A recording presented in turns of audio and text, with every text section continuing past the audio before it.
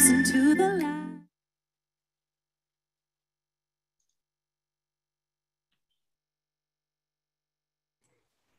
Hello and welcome. Uh, my name is John Phelan. I'm Director General at ICMP. And ICMP is a global trade body for the music publishing industry. We represent 74 different national trade body associations on six continents, as well as major multinationals and several hundred independents and SMEs. And today it's a real pleasure to welcome you to this event on the new project of standardized global music cue sheets. I would like to do three short things in this welcome.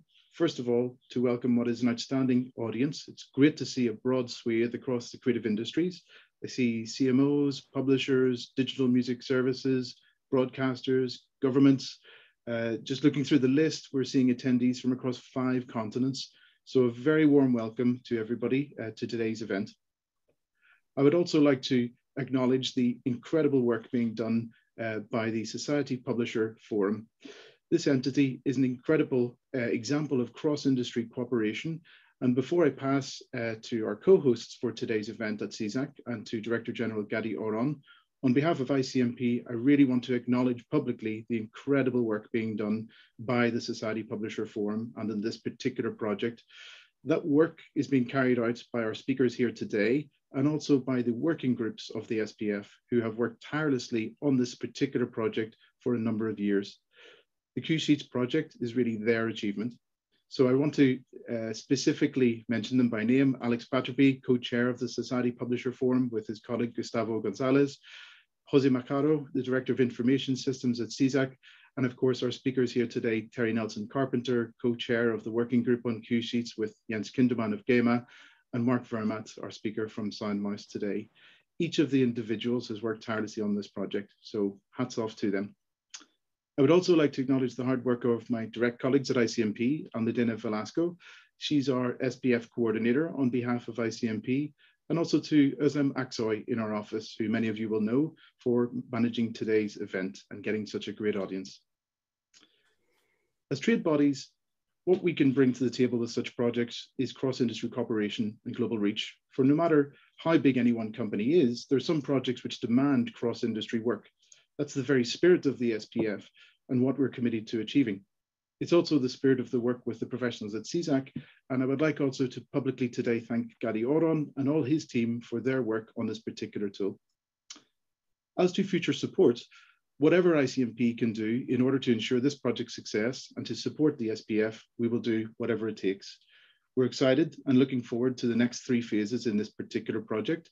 First of all, driving uptake worldwide, and this event is one of the steps along the way in driving that uptick of the global cue sheet. Secondly, working with automated content recognition technologies in order to ensure the cue sheet project is digitized and efficient. And thirdly, issuing the standardized cue sheet in multilingual versions. We're already looking uh, at Japanese, Mandarin, and Spanish for the project itself. The purpose is really very simple to increase creator pay for their incredible work by finding cross-industry efficiency and making music license usage as easy as possible for broadcasters and others in the music value chain. Data is not dull, it's everyone's duty, and it's the ink on creators' paychecks. And with that, I would like to welcome you all today to have a great event, and I would like to pass to CISAC Director General, Mr. Gadi Oron. Gadi, over to you, please. Thank you, Johnny. Many thanks, and thank you all for joining us today. Um, CISAC, as many of you know, represents over 230 author societies that come from 121 countries. And I'm delighted uh, to be here today, um, delighted that CISAC uh, could support this important project. Um, it's wonderful to see so many uh, people joining us today from societies, from publishers, broadcasters, digital platforms, um, many um, other stakeholders from our business.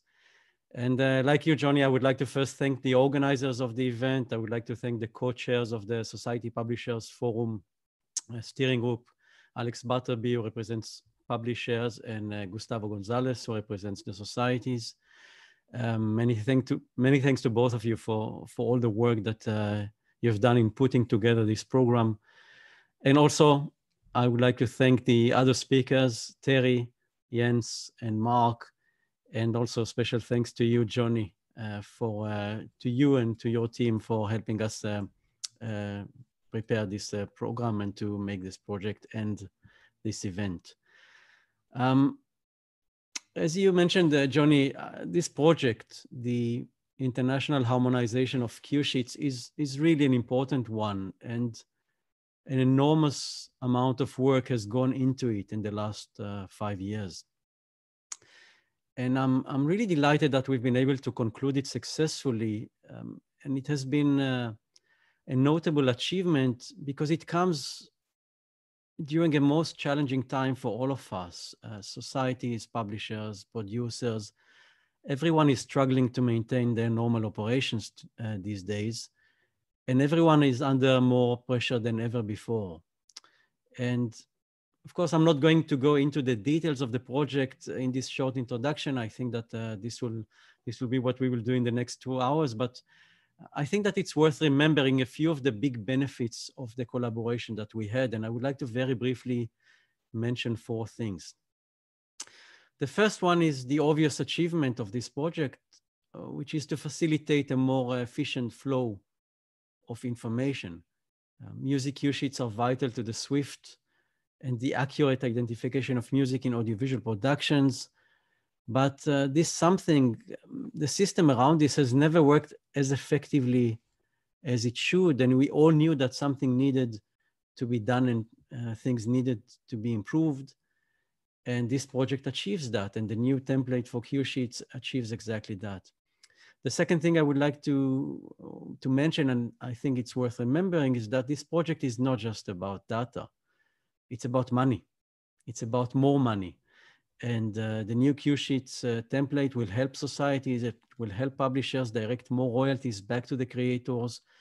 And the more efficient the preparation of worksheet of cue sheets by production companies, the more money will go to the right, uh, right holders, to the creators and to the publishers.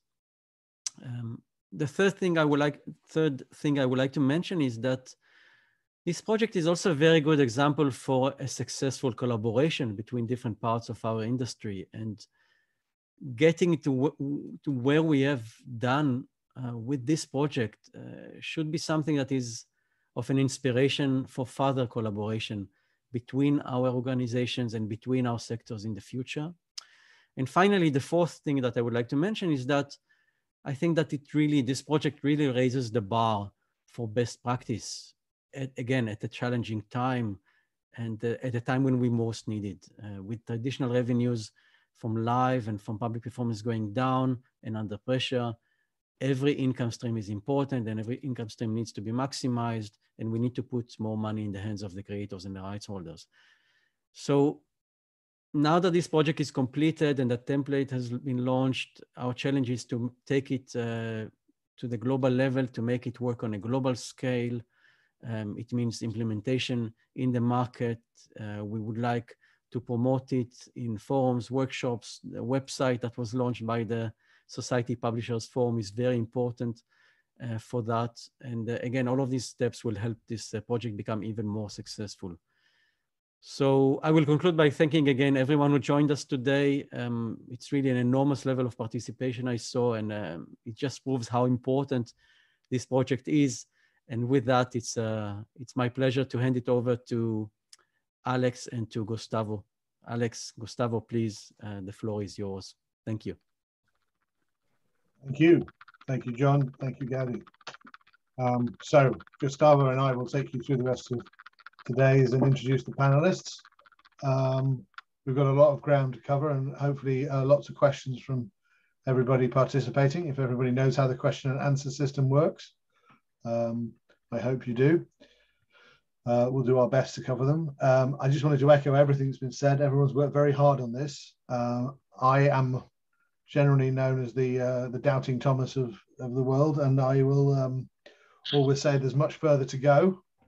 But uh, this is a milestone, and this is a first step towards something extraordinary, which will uh, transform part of our business into something uh, fit for the 21st century uh, and uh, that is sadly a rarity in the music industry. Um, but anyway, uh, have you got anything you'd like to say, Gustavo, just to add to that? Thank you, Alex. Yes, hello, everyone. Thanks for spending this time with us. I'd like to thank John and Gadi and Almudena as well, and uh, Jose and Terri and, and, and Jens as well, and Mark as well, for be, be here with us today, for helping us to organize this uh, event. As Alex said, this is the first of many. We hope we can have more events like this in the future. Um, and this has been very important, as Gadi said, that uh, uh, it's the first uh, uh, time we can show the collaboration between the society and publishers. Uh, the SPF exists for a long time. Uh, it's, a, it's the forum where societies and publishers can discuss projects and exchange knowledge and have a very close relation and transparent. We, we having, I've been attending the forum for more than 10 years. So it's, everyone is watching us. It's, invited to participate with us. Uh, as Gadi mentioned as well, there is also a new web page uh, where we'll be sharing the details of the key working groups we have. Uh, the idea is to keep following what's been discussed in the market, uh, the most important topics, and please very, feel very welcome to suggest as well new topics of discussions as well. We're always open to that. Uh, and I think we have a, a, a long agenda. The topic's very large, so not going to be speaking for long. So Alex, let's move to, to present our, our speakers. Excellent. Um, so first of all, from uh, from the publisher side, I'll do the publisher side, you do the society side. We have Jens, uh, we have, sorry, Terri Nelson Carpenter, who uh, is a uh, very committed member of the Society Publisher Forum and who has um, worked very hard on this cue sheet as the um, publisher lead on the, on the particular working group that deals with cue harmonization. Um, and then we have Jens, uh, who is the co-chair from the society side for this working group. And finally, our last member of our uh, distinguished panel is Mark Vermaat from Soundmouse, who is here to share uh, how we're going to, well, talk about how we might integrate this with the sort of work that his people do, uh, music recognition technology being a obvious, complete opposite end of the technology scale to the pieces of paper we currently ex exchange in the form of cue sheets. So hopefully that will uh, guide us to where we may go next. But let's talk about where we are going now, first of all. Uh, would it be a good idea at this point, do you think, to share the slides? Uh, and maybe then Terri and Jens, you can talk about the um, the standard itself and what it means. That'd be a good idea. Sure. So I'm hopefully about to share the presentation of the screen. That's an example of the uh, cue sheet completed. Is that a good place to start, chaps? Yep. So um, I'm not sure if uh, Jens wants to start, but one of the questions that was asked is, you know, why do you uh, why must cue sheets be harmonized or and why did the SPF feel that?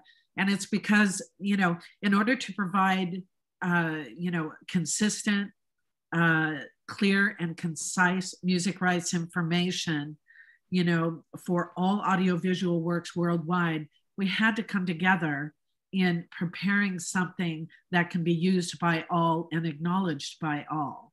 And that is the music cue sheet which is the chronological listing of all music in an audiovisual program. It's actually not only a music document for music rights information, it's a legal document for the creators of content.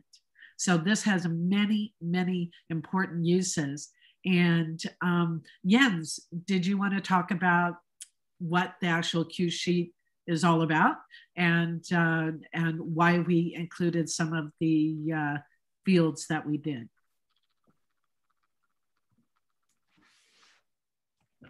You're muted, Jens. So, uh, first of all, maybe for a short explanation, what, what is a cue sheet? So the, the cue sheet um, um, is a metadata file which describes how music is used in a movie or an episode. And um, the cue sheet provides the detail, detailed information to publishers, producers, um, societies, and enabling each of the stakeholders here um, how music um, is placed and used in an audiovisual productions and films, TV programs, and uh, as such. And as you could see here in, in this example, um, um this includes um, information about the, the film title, the series title, um, and also includes some information about the, the production itself. We call it header information like um, the episode number, the film duration, the production company, like the stakeholders who are included. But the most important thing for us as a, a society who has um, who's dealing with the rights of our composers and, and publishers is the musical content. And the musical content, as you could see here in, in, in the in the table, um, this consists of the music title and the music usage, um, the time in, time out information when a cue is starting and the music is starting and it's fading out and the the duration of the music. And most important here is also yeah who's who are the interested parties who is the composer who is the publisher and how are the shares? Who is the share of this right uh, of the right on this music? And this is uh, yeah the, as you said it's a legal document. And we, we, we say this is the primary source um, for performing right organizations like here, um, GEMA or others worldwide, um, yeah, to compensate and use it as a basis for the distribution to composers, publishers for their work. This is um, really, really important. Well, one of the things that that from a broadcaster perspective, and the reason I go back to that is um, from my experience uh, prior to having my own publishing company, I was the head of music at Fox Family Worldwide for 15 and a half years. And cue sheets were an instrumental part of what we produced in our music departments after the creation of music for an audiovisual program that we were creating.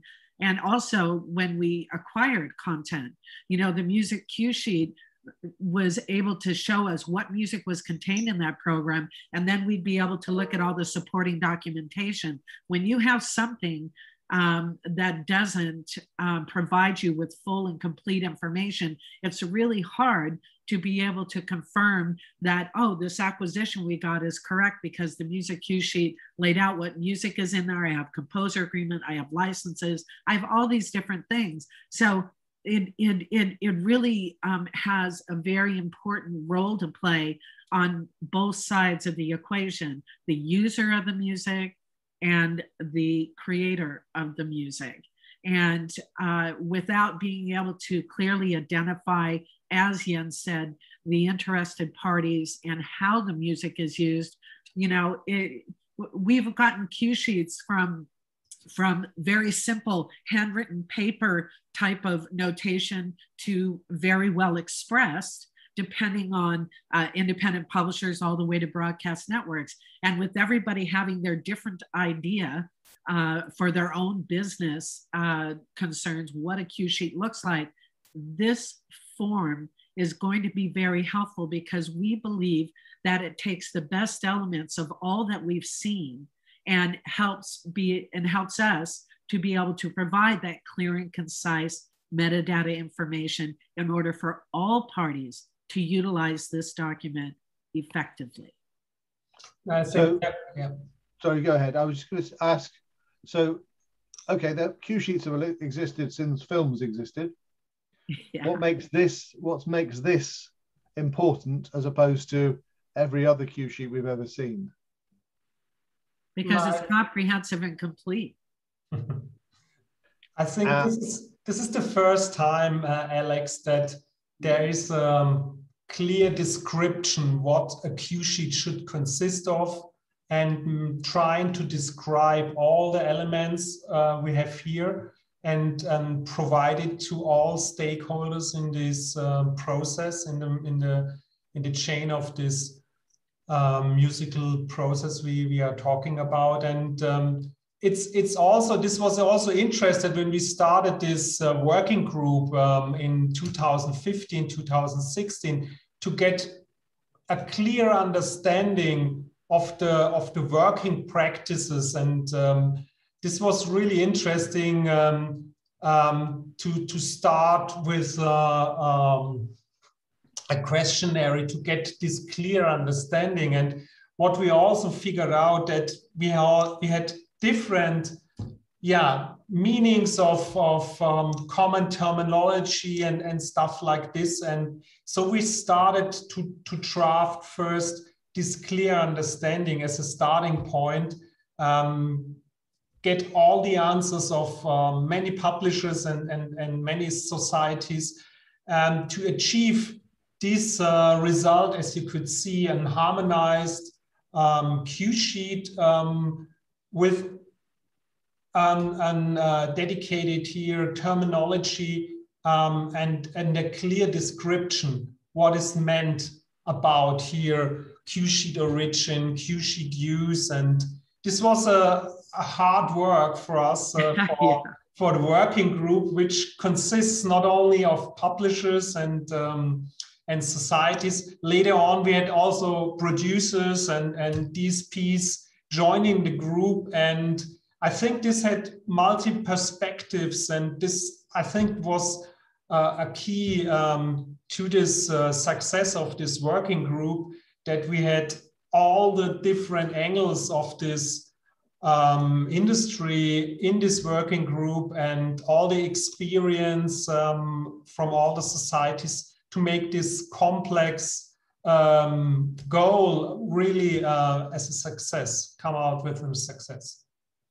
And the other thing is, is that you know this this tool and this template and all of this identifier information it wasn't created so that we will dictate how societies will pay for the usage of music it's it's truly to clarify how the music is being used so that as these societies on a global basis each and individually pay for these audiovisual rights they have the ability to do so having uh, complete and accurate information. And you know Alex and, and Gustavo, y- you have many other working groups within the Society Publisher Forum, and all of them are working toward a standardization of some form or another, where common works registration, common, um, you know, royalty distribution.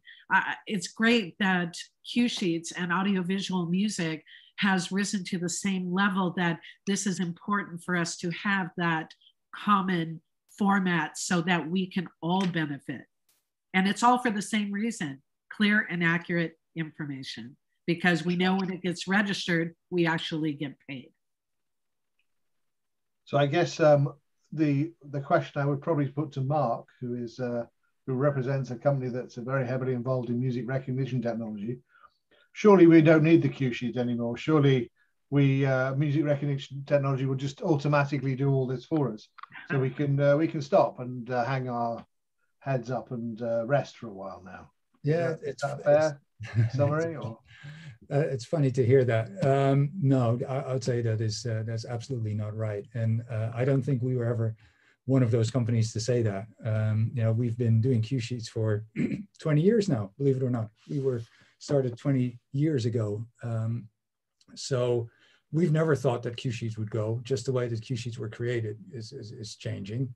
Um, some cue sheets are created manually. Some cue sheets are created uh, using audio recognition tools. Uh, there, there are other automation or semi-automation tools in place that can be used to create cue sheets.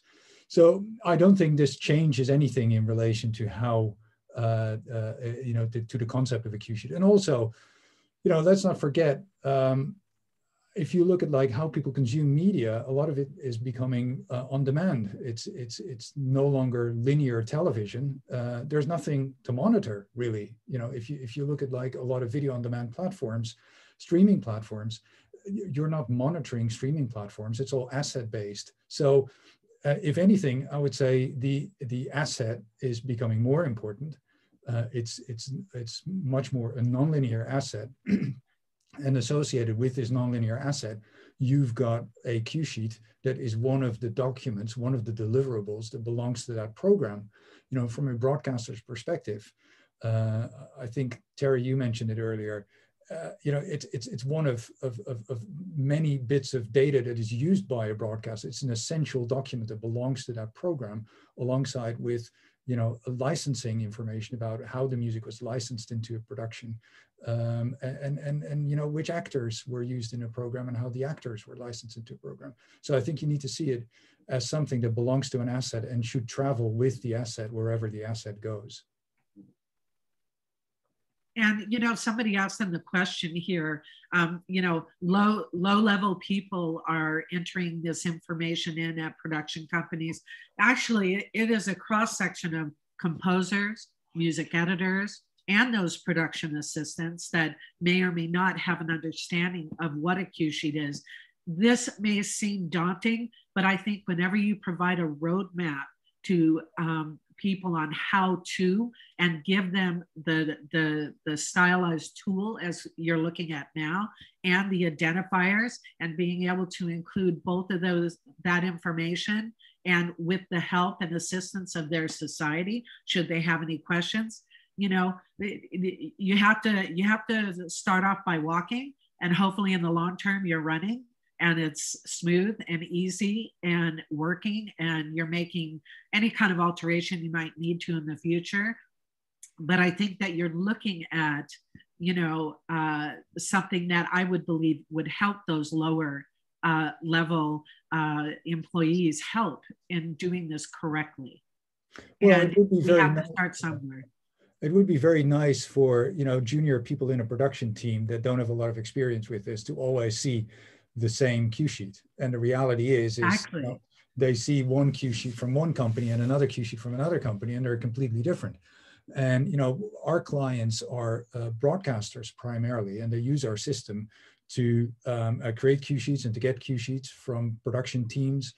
And also on our system, one client, you know, has a completely different view about what a cue sheet should be and is than another client and uh, you will see that there is differences in the cue sheets, not uh, just the fields that are being collected, but also in the way fields are labeled and the values that are available against, you know, we were looking at the like music source or music origin here, um, exactly. how that is labeled and how that is termed and which values are available. That is very different from one client to the next. And I think, you know, this, this, um, this, this new standard gives us something to hang our hat on. You know, it's it's a first step, which I think a lot of people have said to some to, to sort of something else. Um, I think um, one of the challenges that we are facing is that it's not just the broadcasters that have competing requirements or different requirements in relation to cue sheets.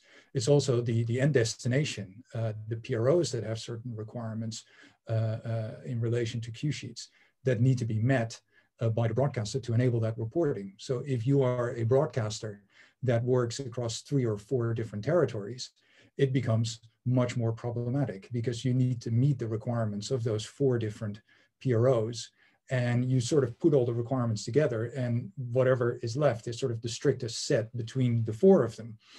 And, um, you know, that may mean that if you've got four different PROs, that all four have different values for music origin or music source how do you deal with how do you deal with that? And uh, you know it becomes very interesting when you have one PRO that requires genre information as part of the cue sheet that needs to be reported.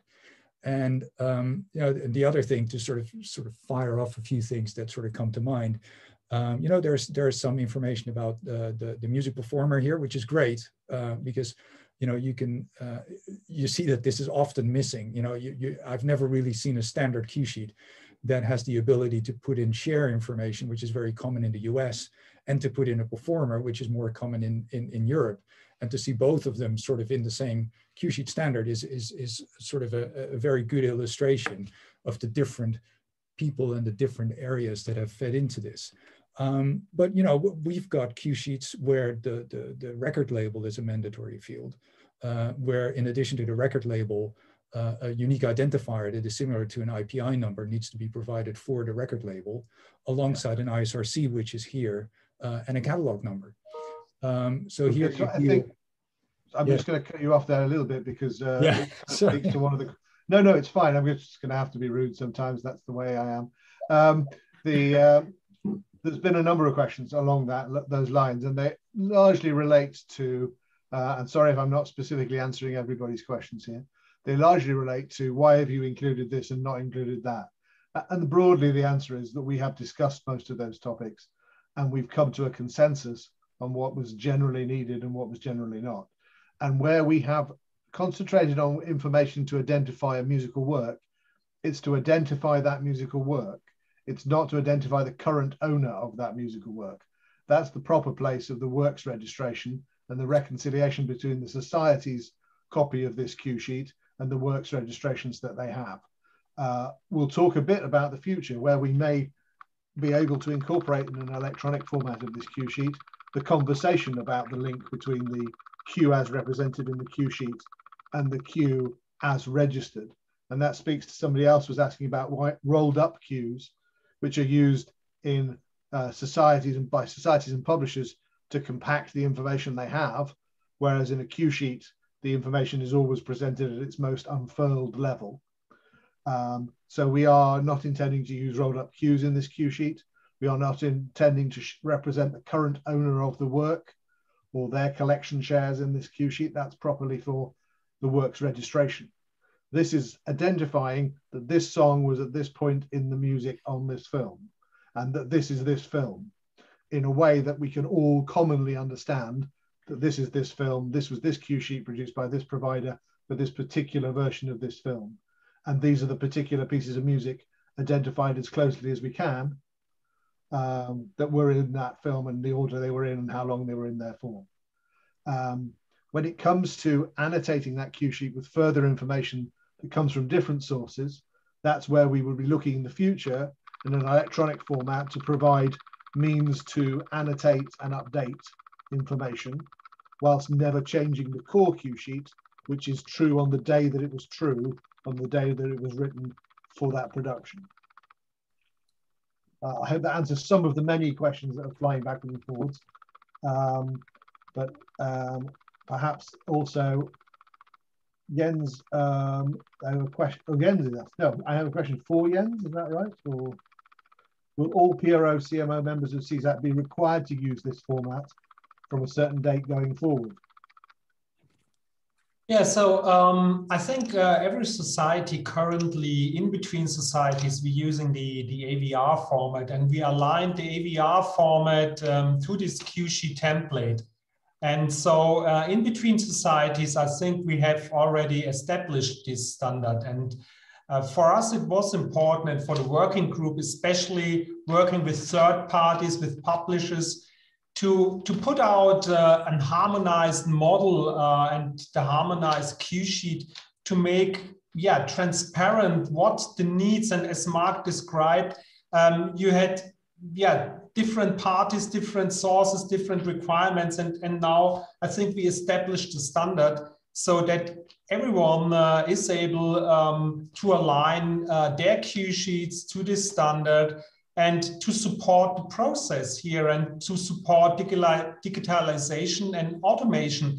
And um, maybe um, just um, you ask um, uh, Mark if, if, if the cue sheet uh, will be redundant um, when using monitoring. I think um, I think this must be really clear. The output of, of monitoring will always be a cue sheet and metadata.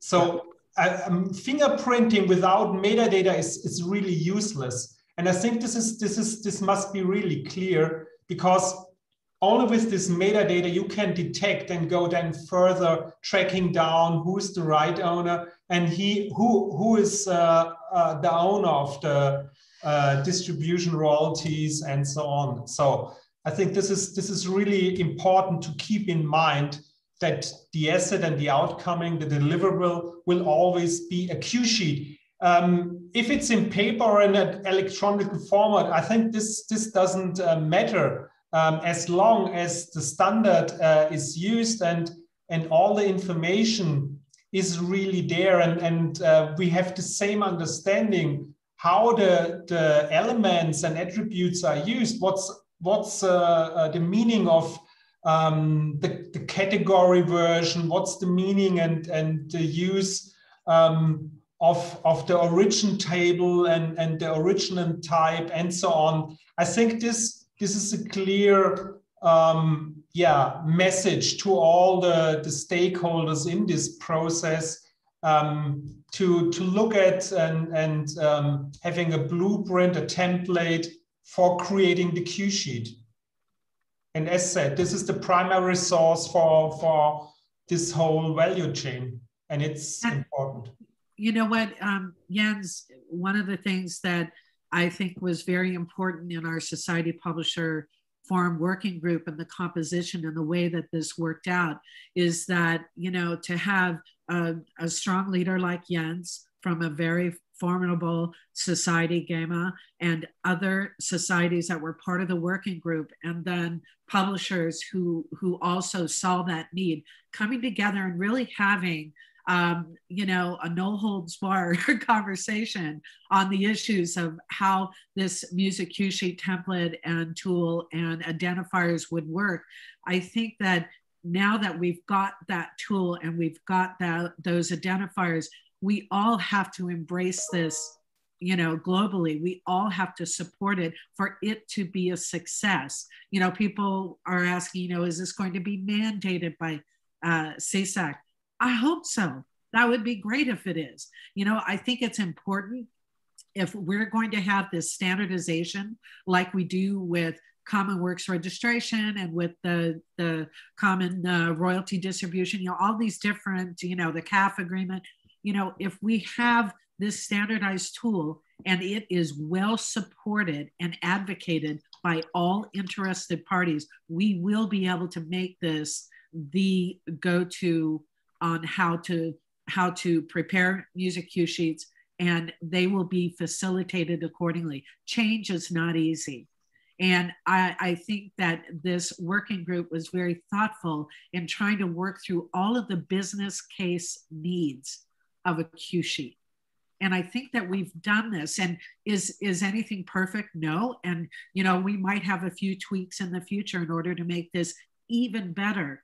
But right now, we need to make it easy for people to use. And uh, one of those, I think it needs to be digitized. You know, I think, Mark, we need your help. we well, need your help. That's what we're here for. Yeah.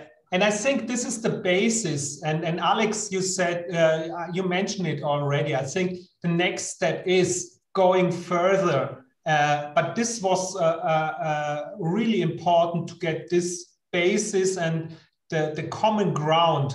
And, and from here, we can now face all the, the issues we have in, in this process. Um, but we have this common understanding and we have new technology and now we can use uh, uh, and improve this whole process. Um, and I think this was really important and, and having all these um, stakeholders together, I think um, uh, we, we can now go next step definitely. I'm just trying to flick through these questions and see if there's any that we haven't covered. I'm sorry if we're not covering your question. We will certainly definitely make sure to answer your question at some point in the follow-up to this meeting.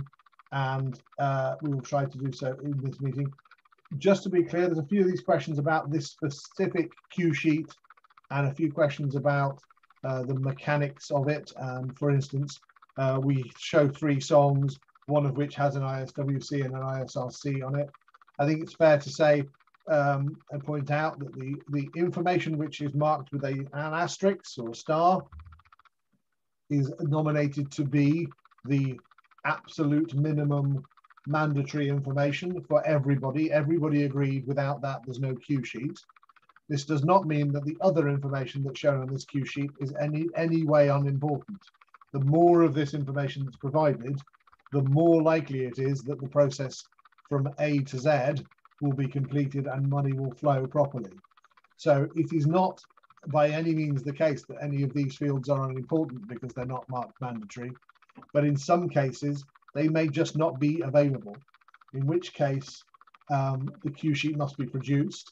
And this information can, could be added at a later date when we have a uh, the ability within an electronic cue sheet format to annotate the information that's in the existing, annotate and label that information so that we know who provided it. Um, so that we know the source and, uh, and veracity of that information. Just as from the initial cue sheet, we know that the initial source of any cue sheet is supposed to be the production company. Whether that's actually true in all cases, uh, we, we, can, we all know the answer. But um, I think it's fair to say all of the information on here is, that is, is equivalent to the minimum amount of information necessary for a decent cue sheet. If some of it is missing, then it doesn't, it is not disastrous. But if the starred items are missing, then the cue sheet is, is below minimum standard. Um, and the other important thing to note is that the, the values and fields that we have here are not the be all and end all forever. Um, if anybody wishes to join the group and work on the next revision of this cue sheet to take into account different types of audiovisual medium or to, take into account more details that are needed or might be helpful, then we're very happy to accept those uh, suggestions. This is a you know a first draft of many, leading to many further steps towards uh, the exchange, the improved exchange of this data. Um, so I, uh, are there any other, let me see if I can find a vintage question we can ask. Well, what about, what find... about challenges that we still have? Um, we are, you yeah. know, somebody had mentioned rolled up cues. That is something that we are currently discussing. Um, Jens, do you want to comment on that upcoming discussion?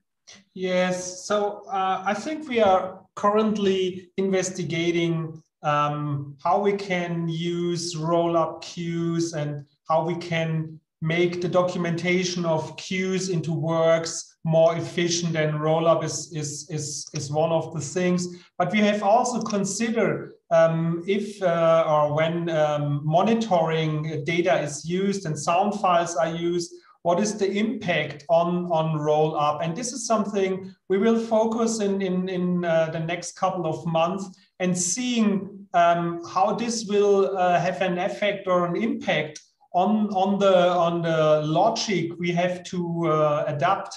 And we have, um, yeah, we have a basis where we um, uh, put together some, some uh, rules. I think they are strong, but they are, in my opinion, they are all based on, on the former one when we just talk about metadata. And now we have um, the monitoring companies and the fingerprinting. And I think there are, yeah, more challenges, uh, especially when, when sound files are used. And this is something, and I'm, I'm really happy to discuss this with uh, Mark and also with BMAT and, and other uh, companies uh, who will join us, hopefully, um, to have this discussion and, and get their experience. Um, what do we have to consider um, when we talk about uh, rolling up cues and making this more efficient and uh, what are the yeah obstacles and, and stuff like this? And oh, yeah, this is a real important uh, uh, thing next yeah, I have another question from uh, from uh, uh, society here. There are a few differences in the mandatory fields between this sheet and AVR. Um, is that intentional? No, it's not intentional. The AVR should be aligned with the international standard cue sheet. So we will, uh, if that is if that, if that is the case, we will address that, and fix that. But it may be you're not looking at the latest version of AVR, which was updated to uh, to reflect this standard. Um, yeah, it all depends which which AVR standard you are using, and yeah. we um, we we have a new uh, version uh, 1.3, 1.8, um, and this is reflected there. And but I think Mark wanted to uh, answer some of well, I, th I, think in terms of the roll-up cues, uh, I, I, don't think the audio recognition necessarily is the biggest hurdle there. Although, you know, of course, it, it recognizes tracks, you know, recordings, uh, and rolling up becomes a bit more challenging as a result. But I think it's primarily an issue for producers that are creating the cue sheets. You know, they have a yes. domestic version and then they need to create an international version. They need to strip out a lot of the licensed music, turn it into production library music.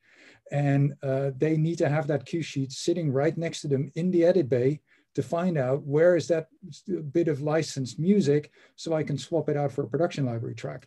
If I'm an editor in an edit bay and I need to watch a 19 minute movie to replace one cue that's happened somewhere in the middle, that's a nightmare. Right. And that's a that's a significant cost. If I've got my cue sheet right next to it that is time coded, I've got it pretty much instantly, and it, it, it's a five minute job. So I think that's the biggest challenge with regard to rolling up cues, probably more so than with audio recognition, where you could apply logic um, to uh, to to roll up cues if you if you if you really wanted to. But again, you know, there are ways around this. You know, I don't think you know if if rolled up cues is a really big issue for the societies and they're really needed.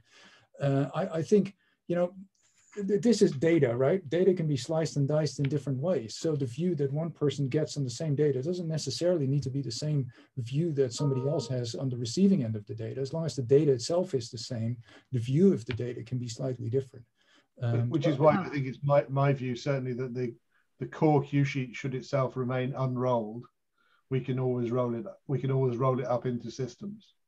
Um, yeah, you interpret the data. Yeah. Well, that's that's assuming that you know systems are are doing it correctly. You know what the concern of of writers and publishers are is that societies are doing that roll up and um, we we have no control over that. And we don't know what that looks like because the only document we have is the cue sheet. So it's rolled up by the society. We don't know if there's you know inherently some problem or something happened because we're all human. Even though we're dealing with technology it's humans that are that are inputting this information and manipulating the information. So we don't we don't always know. So sure. that's that's I, mean, I think that's again that's a role for a, another role for a for an annotation facility within the cue sheet electronic yep. form of the cue sheet so that we can suggest what the roll up should be. Uh, drew uh, drew here has a question which is do we have any thoughts on how to incentivize require production companies and broadcasters to use this new format Yes, if they'd like to get paid.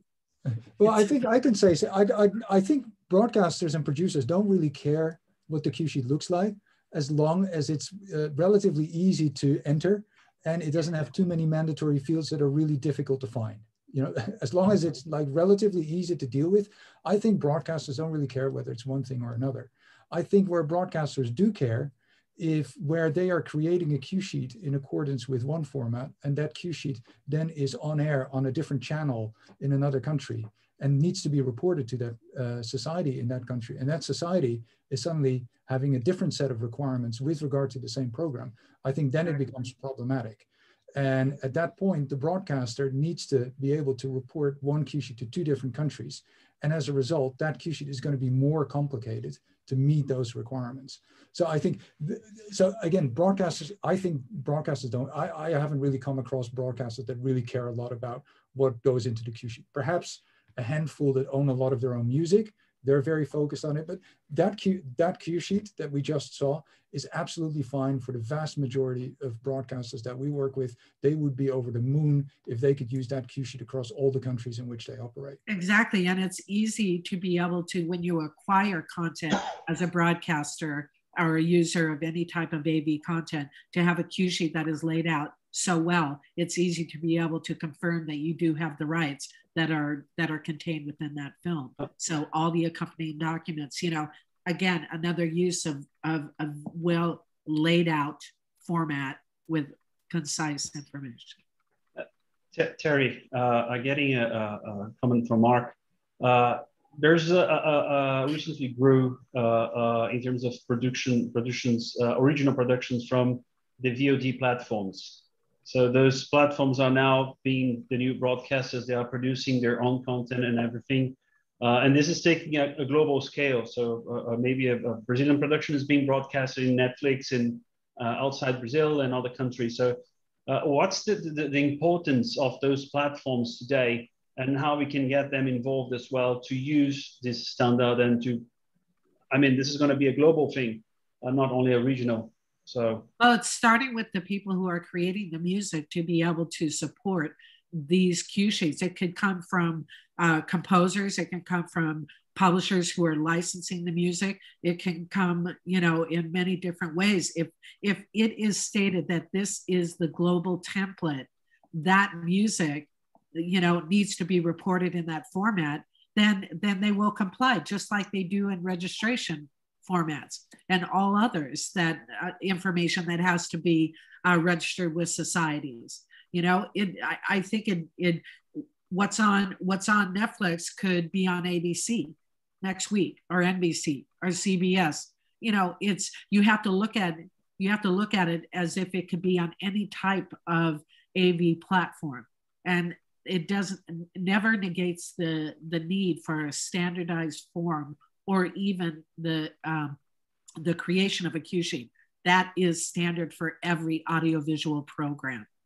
I think it's it's it's also important. Uh, standardization in general allows us um, to proceed um, stuff more automated and and more easily. Yeah. I think this is this is the main goal in in every uh, section to standardize because it flows and um, it's it's the green street and we don't have to halt. We, we can automate. It's easier to process and uh, we can yeah fasten uh, the the distribution and and the, the royalties um, uh, and exchanging data more quickly and easily. I think this is this is the main goal in the future to be more to, to be faster to be more accurate um, and and so I think this is this is something the whole value chain um, is is focusing on, and um, I think this is yeah something all all together. This is this is our main goal: make this this process yeah more efficient than than it is now. And, I've got three more questions queued. A couple from very early on in the process who, who submitted their questions in advance. Uh, one from Michael Liu here, Lau here. Will there be a centralized repository of all cue sheets so broadcasters that air the same programming search and reuse the cue sheet for greater efficiency? This would be a great incentive for broadcasters to adopt. Uh, what do we think about that? I mean, I feel that personally, that's a goal at the end of the process, uh, which would be achievable, but we've made that first step towards that. First is to start sharing the information in the same way. Yeah, but, but something electronic but maybe this is something you can uh, um, go with your society. And uh, for example, here in Germany, um, for uh, licensed productions, um, the broadcaster hasn't uh, the, uh, don't have to uh, provide us with the musical content. Um, it's it's enough when we get the, the header information, and then we go through the um, societies um, which have the, the cue sheets. And this is a really good process, exchanging the, the cue sheets in between society using the CIS-Net platform. And therefore, maybe this is uh, something um, um, discussing with your uh, society if it's possible, just providing header information as we do it here in Germany. Other thing is with, with TV in-house and commission productions, therefore, this is a requirement, getting the musical content. But otherwise, we are just happy getting header information just to I mean, I think I think the idea of, a, a, commonly shared database is, is a great one in theory. The history of those things has not been marvelous. Um, it's uh, it's required a lot of cooperation from people. But that said, there's no reason why those things should not start to spring up once we all agree to share the information in the same way. Well, I think Soundmouse is uh, a good example of what is uh, uh, what works in this field. Yeah, well, yeah, we, we are effectively a shared database. You know, yeah. we, have got studios creating cue sheets on our platforms that then air around the world. And for those broadcasters that need to report those cue sheets to their local PROs, because not all of them need to do like like Jens said. Um, Other similar platforms do, are available. Yeah, but for those that do, you know, they can use the original, uh, the, usually the international version of that domestic cue sheet uh, for their. I think, I think the point that I was trying to make, and I think Terri's making the same point in many ways, is that if we provide the tools, then these things spring up of, the, of, of natural, naturally from the, providing those tools. Yeah. So our goal is not to create the worldwide database of cue sheets. There is the AV index, which is sort of like that. There are others. Our goal is to say, if these things exist, they should all have the same sort of data in, and they should all yes. communicate with each other using this same set of data. And then it doesn't really matter if it's a single database or a, or a disseminated database or a set of regional databases or whatever. I think that's step 47 on the on the on the way to Nirvana. Um, but, also to get people to use this, you know, Gustavo, to, to answer your question, you know, we, the Association of Independent Music Publishers, I'm the former national chair and currently the LA chapter president, and we are having our Global Music Publishing Summit in June on the 7th, 8th, and 9th. And we are going to have a section where we are going to talk about the cue sheet harmonization project and be able to give an update. And if the MPAs, uh, global MPAs, and and um, affiliated rights societies, you know, our writers are, are, you know, in North America, you have SONA, you have NSAI, you have all of these different organizations that collectively can embrace this tool. More and more people will come to find it the standard. And again, if societies all adopt it, it's going to make it easier to point and say, this is the standard. Here is the tool. Now we need to automate it, make it easy so we can deliver it easy. So I yeah. think that answers Amit Doobie's question is there going to be a validation tool? I think there would be a validation tool implicit in an electronic format which would grow out of this. Uh, certainly the JSON formats that we've started to adapt in the forum uh, have um, a, a, uh, a, very efficient method of centralized um, um, file validation. So that would certainly be something that if a file format arises out of this, uh, which is likely, I think, uh, but we are, you know, that's next steps. Um, then that would be self-validating. Uh, will pre-existing cue sheets need to be updated? No, we cannot solve the world by going backwards and solving everything that happened before. This is a going forward, let's stop adding to the problem uh, solution. That doesn't mean you can't go back. It doesn't mean you can't start to fix the past. But let's get let's get the future sorted out first, I think. Anybody who disagree with that? I don't want to answer all the questions. Yeah. You don't um, always have the uh, the ability to revise cue sheets. And when you can, uh, it can be a good thing. But then again, think about the user of that of that content who has to distribute that cue sheet globally. It just, you know, it, it as long as the initial cue sheet is correct, you can you can you know walk the chain of title to find out who owns what. We do that with catalogs. Yeah, but you, you can find the updated work registration on the society's database. Exactly. As long as the content doesn't change, um, yeah. the share information uh, will change and also maybe the publisher information will change. But as long as the, the music duration and music content uh, um, hasn't changed, um, the, the cue sheet, the original cue sheet will still have uh, a, a value um, for registration. And um, the update on the on the work level, this is something societies um, have uh, other tools to follow up, and so I think this is um, something, uh, yeah, you you must know. So the last two questions I have here, although there are many other unanswered questions, and uh, thank you everybody for answering, asking so many. Uh, one was originally sent in by uh, Simon of Book, Books Music. Um, applaud the work of the group. Thank you very much. Uh, a standardized cue sheet is long overdue. We all agree. However, part of the problem with cue sheets is that they are very often filled in by junior members of staff. We as publishers insist on verification of cue sheets before dissemination, and I would encourage this to be the industry norm. We also need to educate these young production staff. This is the importance of the cue sheets they're completing. I would echo that. My first job in the music industry was completing cue sheets for a broadcast channel for their original content. And I was a person dragged in off the street and given a pile of paper to fill out. I, I filled that paper out as best I could, but it wasn't well. I can tell you that. And it probably wasn't accurate. Um, uh, and I apologize to those who lost money as a result, but I didn't know at the time. Just doing a job.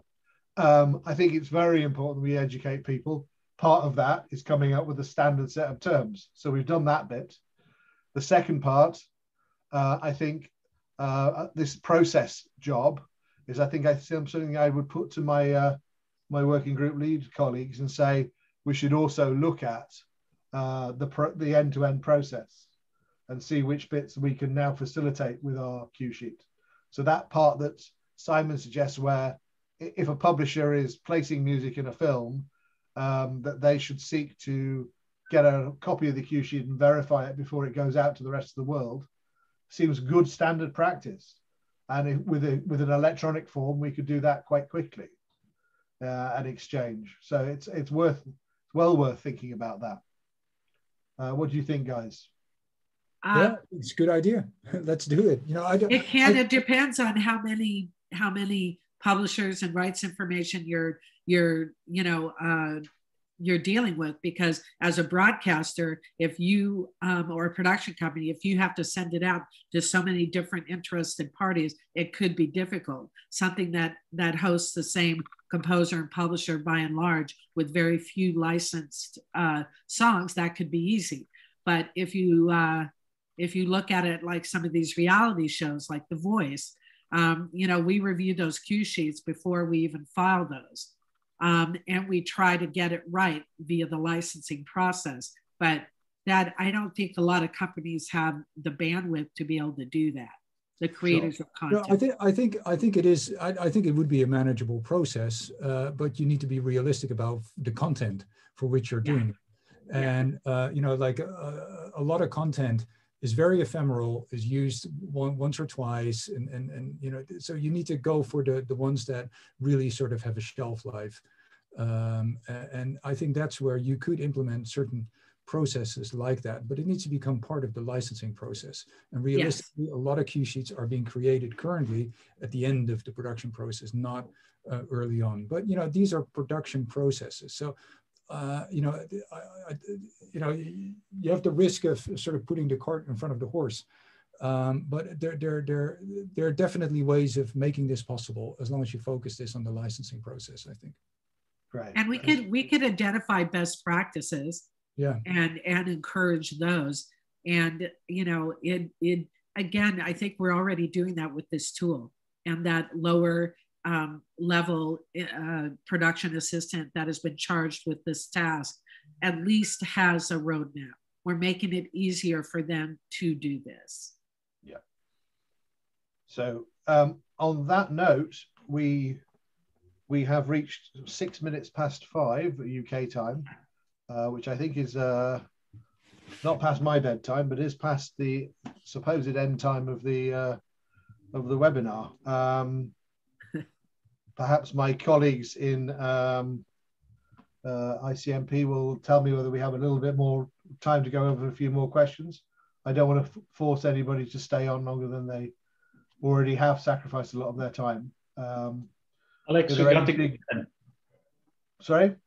Sorry, you got to go ahead from John. So if, if you like, Alex, absolutely. Yeah, the, the webinar will stay live as long as you need and you've got a healthy audience. So push on if you like. Good stuff. All right. Um, so uh, we have further questions. Um, Jonas Hallen says, apologies for my pronunciation of people's names. Is there any certain data on the cue sheet that often hinders royalties from reaching the rights holders when there's a lack of that data? Yeah. What are the what are the bits that are always missing that cause the problems? I think. So, so first of all is um, if you don't have the, the composer's name, um, if you don't, that's that's really easy. If you don't have the, the composer's name, just unknown as composer. If you don't have the right uh, music title, if the music duration isn't correct, um, so they are, are depending on on the um, level of um, of the cue sheet. Um, there are different obstacles you you can do wrong and uh, how do right and this all affects um, the distribution so um, i think we could go um, detail by detail uh, through all the elements um, mostly as you uh, as you could see those who are mandatory um, they are meant to be mandatory because they are really necessary for at least having a, a minimum standard for distribution. So this is maybe something uh, you have a guideline. Thank you. Uh, Antonella Di Savaro uh, asks, what about translated show titles? How is that being addressed? Um, so there is another working group within the Society Publisher Forum that deals with uh, translated titles and other um, extraneous information to the core cue sheet. So this is for those who are not in the know. Um, CSI Miami might be called Cop Show Miami in Azerbaijan in their local language. It's not an official author title, but it effectively means that when money is reported, it comes in under that title. Those titles are best known often to broadcasters and uh, production companies and publishers. Uh, sharing those with, with, the relevant society is an important part of the work that we're seeking to do. And we have a separate part of the uh, sort of extension to the AVR format, uh, which submits that information, that extraneous, not extraneous, but uh, uh, additional information on cue sheets. All of that, of course, would be incorporated into any future full exchange cue sheet format. Um, Alex, also, I think it's important here. Uh, the translated titles is important, but more important is to get the original title because we now have here in, in Germany the situation with one DSP. They're providing us with the uh, translated title, but not with the original title, which is a problem because no one knows the original title, and I, I can't go to the uh, uh, original society and asking for a cue sheet because I, I only have to translate the translated title. So I think important it is um, first give us the original title, and if you have a uh, translated title, I'm glad to include this and and also the publishers but but really first uh, and most of all give us the original title the mandatory information as as mentioned in in uh, the cue sheet standard and everything else is optional it's good don't hesitate um, to to yeah, provide. I, say, I, would not discourage people from sending you sending no. you translated titles uh, you know in the end we can link that information up if we start to do this process in a more ordered manner uh, but yes, you're quite right. The, ideally, do the right thing in the first place. But yes, we are always going to have exceptions, so it is good to have extra information. Definitely. Probably trying to say. Um, so who have, who do we know who's uh, who is uh, aligned with our format so far? Who's what's the uptake? You're talking about society wise. Societies, uh, cue sheet software manufacturers, produ- production companies? Who who has taken this up? Who do we know will be taking this up? I mean, we can name the people I'm assuming who are involved in the group. Uh, I'm sure we can name a few others as well. Well, I think we're just in the process of discovering that and and and uh, getting the word out about the tool. So I think that that will only grow from this point forward. And I think we are looking, you know, Jens, uh, GEMA has uh, embraced this format, yes? Yeah, most of the societies um, um, providing this um, format to their third parties, um, um, making um, announcements of, of this. Uh, we know that RapidCue is including this, this information. So I think we are at the starting point disseminating and, and promoting this this uh, as, as this uh, event here is taking place to promote this and talking about this cue sheet standard. I know that um, the DDEX group is also looking at this standard. And uh, so i think this is now work in progress and and we have to do a lot of work more on um, to yeah bring this to the people yeah. I, I think I think I could add to that that uh, Sony's a Sony is a major film and TV uh, publisher. We work on behalf of uh, quite some, some substantial uh, producers. Uh, there were some substantial producers on the group. All of these people are, as far as I know, uh, very receptive of the idea. I think that the proof it will be in the pudding. We have to get people to start using it. It is being used people are starting to use it.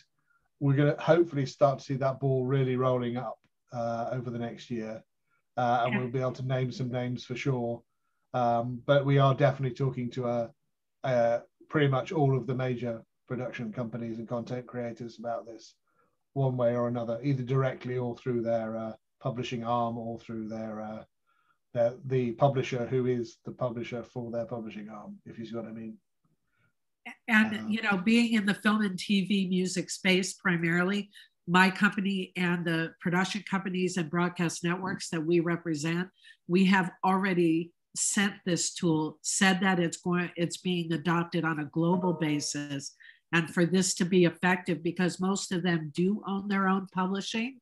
And so it is of a business interest to them that they are compliant across the board. So we are encouraging this with every single client that uh, we engage. So that's the way it starts. And, and those of us who worked on the working group, those of us who are online here, we need to be able to uh, foster support with everybody we touch in our in our you know uh, different experiences so that we can get this adopted as as quickly as possible so through our mpas through our clients with our local societies yeah, you're using it right. You know, GEMA, yeah, great. You know, and you know, Abramus, you're you're using this, right? Yeah, you know, um, it, it, I, I think Jens, you've always encouraged the rights owners to ask the society what's happening. If they if if they have a question, just ask.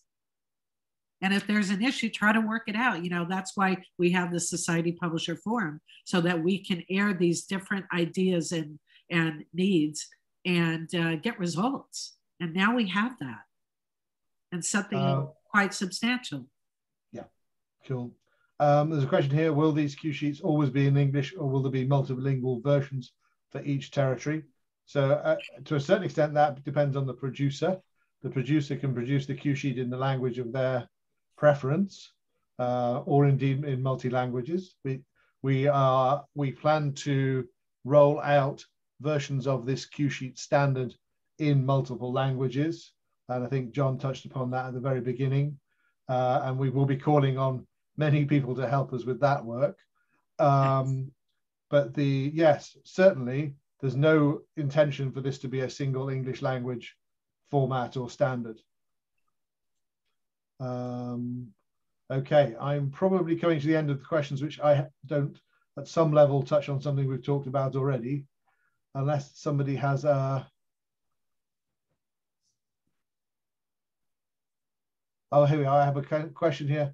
Hopefully you're brave enough to approach AV producers directly with a light version of this standard. Many of the fields are such that an AV producer cannot fill, but I imagine that half filled sheet is a good starting point for a music CMO. I think that touches upon the mandatory fields, non-mandatory fields that we talked yes. about earlier. The, the mandatory fields are the bare minimum we would hope everybody can get to more than the bare minimum.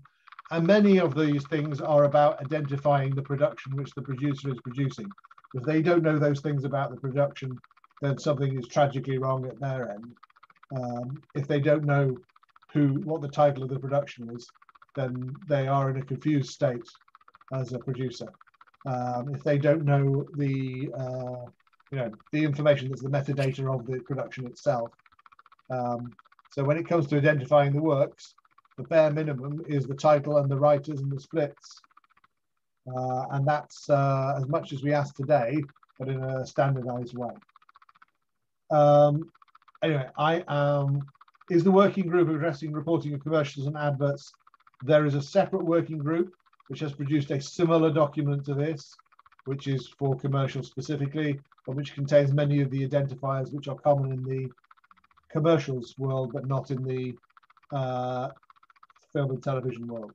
Obviously, with the merging of all types of AV into one amorphous blob, there's no particular reason to, to differentiate, uh, except that commercials do have a whole world of different identifiers and are generally much more snippety. Um, but in general, these formats and the standards within them are consistent with each other. So we would never use a term in one that is not consistent with the terms in the other. Uh, and right, I'm going to go to each member of the panel and say, is there anything else you wanted to add we failed to add, and then we'll, uh, we'll, I think we should wrap it up. Um, Jens, you first. Anything you'd like to say? I'd like to say thank you for everything you've done. You've worked extremely hard pulling us together and corralling us over the past God knows how many years. Um, and I hope you'll continue to corral us and uh, work on the next steps. Yes, thanks for inviting us and, and having uh, the opportunity to talk about uh, this this great project. And um, yeah, I'm I'm I'm hopefully everyone uh, will support this uh, new standard and and help us to disseminate these uh, rules and and help us um, yeah to establish this um, great work. I think. Thank you. Uh, Terri, you next. Yeah, uh, it's such a pleasure to be here. And um, I'm very thankful to be a part of this working group. And Jens, you've been fabulous to work with. And thank you so much. Uh, and I will say that as a publisher rep of the AIMP and of the IMPF, we are working hard to be able to make sure that the work of the Society Publisher Forum is definitely embraced by all constituencies. So, you know, it's something that we as um, uh, music rights owners, uh, we will support and continue to support through our different conferences and the like. And, you know, when we first started this webinar, there was this song that came on and it said, Deliver me away from this madness. Well, you know what? I think our cue sheet format has done that. Yeah. and hopefully it can continue to make life a little bit easier and this stuff won't look as daunting in the long term. So thank you so much. It's, uh, it's great to be a part of this uh, forum. Thank you, Terri. Have really same back at you. And finally, um, Mark, thank you for joining us and uh, hopefully joining us in a more meaningful way in the near future as well. Yeah, well, thanks for thanks for having me. You know, I think it's a great great initiative. Uh, we are very supportive of it, and I think the vast majority of our clients would be very supportive of it as well. There's always a handful that are very particular and very specific about how they want things, but I think the vast majority of our clients very much welcome this. Um, you know, we are compliant with it. Uh, and to be honest, it was actually very easy for us to become compliant because I think the version category was the only thing that we had to change, but otherwise it was sort of there already. Um, and so, you know, th- that sort of means it's, it, it's, it makes a lot of sense as well. So I think, you know, there's a lot of very good reasons to do this. And I think, you know, from my perspective, the next step is to get the word out, but also to get uh, agreement across the board um, um, that this is a format that should be adopted and that we don't have this, uh, you know, for lack of a better word, madness whereby a cue sheet for one program in one country cannot be reported properly to a, uh, to a society in another country. Um, and, uh, you know, perhaps uh, uh, the, the, the whole uh, annotation or interaction of the publishers is something that should be added at the same time. I think that would be a very positive development as well. And, and also for publishers to have the ability to, um, uh, you know, report some of those cue sheets because right now the publishers are sort of not able to, to interact in that reporting process. I think if they could have some sort of level of interaction, that would be very good as well. It's definitely something that we are interested in looking at. Great. Thank you very much. So thank you for joining us. Um, I don't know if ICMP want to say a few closing remarks or uh, how we shut these things down. I'm, I'm new to an ICMP um, and CISAC hosted events. Alex, Alex, before we close, just to thank you, uh, uh, thank you oh, for conducting this very well. Thank you for all the the ones that are attending us from all over the world. There are people from Japan, Nashville, New York, London, uh, Brazil, uh, all over Europe as well. And thank you guys for all for, for spending this time with us. It's really important to have the support of publishers and societies in the SPF uh, so we can keep uh, really pushing societies and pushing publishers to get involved in the important projects uh, uh, and the important standards we're working on. getting the, the, the, feedback and the support is it's, it's really important and for all of us that are really working hard. Congratulations for Terri and Jens for the great work you've done so far. And thank you, Mark, very much uh, uh, for the for sharing all the knowledge as well. And thank you very much, CISAC and ICMP for for letting us talking here for that long. And thank you to my uh, co-chair for being such a gent as always. Our pleasure. If I may just reiterate our thanks to everyone on this group, but also the broader SPF. This has been a long project, as Gary mentioned at the outset, for five years of incredible work. Uh, the experts are on this panel today, and uh, all we can do basically is now that this tool has been designed, is to uh, try and grow the uptake of it, and that's our mission here at ICMP. So uh, we're right behind everything that the SPF is doing, and uh, thanks for a fascinating webinar today. And uh, we look forward to seeing you very soon. Uh, Gadi, I'll pass to you for uh, final remarks.